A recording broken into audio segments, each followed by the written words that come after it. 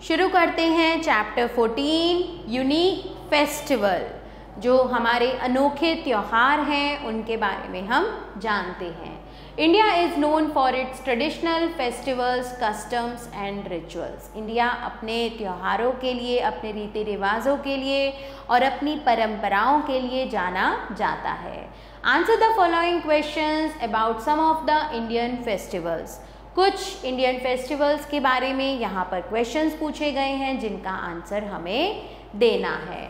In which festival of Kerala is a procession of decorated elephants taken out किस festival में केरला में एक decorated elephants की कतार निकाली जाती है?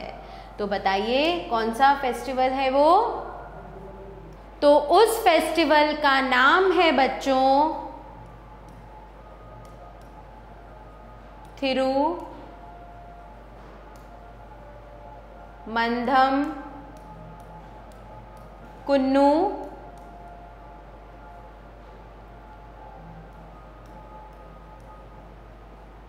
पूरम ओके तो आगे चलते हैं।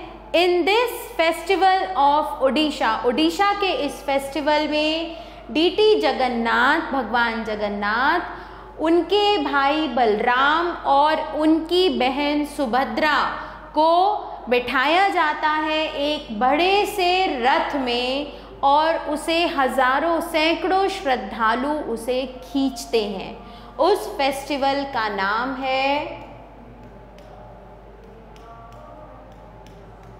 रथ यात्रा ठीक है बच्चों? Which festival is celebrated by gifting coloured eggs किस फेस्टिवल को कलर्ड एग गिफ्ट करके सेलिब्रेट किया जाता है? जिसको जन्म को सिंबलाइज किया जाता है, एक दूसरे को कलर्ड एग गिफ्ट किए जाते हैं फ्रेंड्स और फैमिली को। तो ये है हमारा Easter Easter is the festival The night before the day of this festival is called the night of the moon. इस फेस्टिवल से जो पहले एक रात होती है, उसे चाँद रात कहा जाता है। और ये सेलिब्रेट किया जाता है स्पेशली बाज़ारों में घूमकर, जो कि खुले आसमान के नीचे बनाए जाते हैं। तो ये है Eid ul Fitr. Okay so this festival is Eid ul Fitr आगे चलते हैं।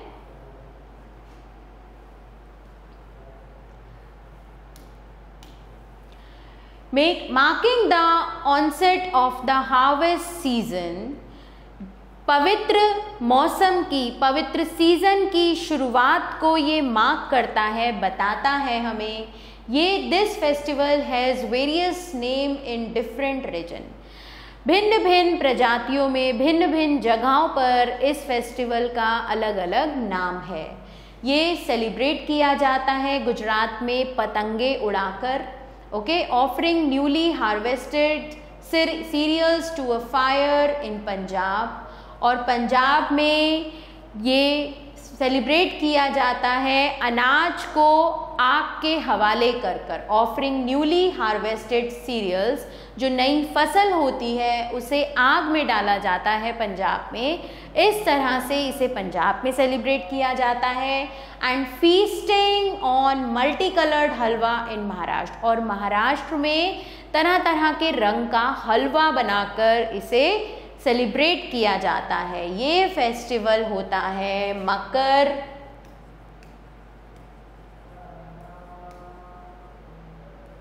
संक्रांति। ठीक है बच्चों? What is Saluno better known as Saluno को और बेटर क्या, किस नाम से जाना जाता है, क्या कहा जाता है इस फेस्टिवल को? This is called Raksha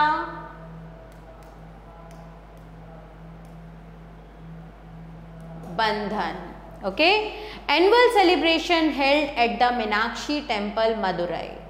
Celebrating Meenabai and Alagar Mahavishnu ये एक एनुअल सेलिब्रेशन होता है मीनाक्षी टेंपल मदुरई में जो सेलिब्रेट करता है मीनाबाई और अलागर को तो ये कौन सा फेस्टिवल होता है बच्चों कौन बताएगा ये जल्दी से बताइए ये कौन सा फेस्टिवल है हमारा यहाँ पर रक्षाबंधन भी हो गया, ईस्टर भी हो गया, तिरुमंदम कुन्नूपुरम भी हो गया, या रथ यात्रा भी, ईद उल फित्र भी और मकर संक्रांति भी। ये फेस्टिवल है बच्चों चितिराय थिरुविजा। तो इसको हम लिखेंगे C H I T I R A I Chithirai Thiru Vizha okay तो announcing the arrival of spring spring season के अराइवल की घोषणा करता हुआ celebrations of this festival of Assam इस ये आसाम का फेस्टिवल है. ये इन्वॉल्व करते हैं इसमें बेदिंग को और वर्शिपिंग काउस को, गाँव, गायों को नहलाना, उनकी पूजा करना feasting on the regional delicacy इनकी एक धार्मिक डेलीकेसी है, पिथा। उस पर ये फीस्ट करते हैं एंड परफॉर्म करते हैं एक folk dance which shares its name with the festival उस डांस का नाम भी इस फेस्टिवल के नाम के ऊपर ही रखा गया है। तो क्या है वो? भोगाली बिहू। और वो कौन सा डांस करते हैं? वो डांस करते हैं, बिहू डांस करते हैं आसाम में।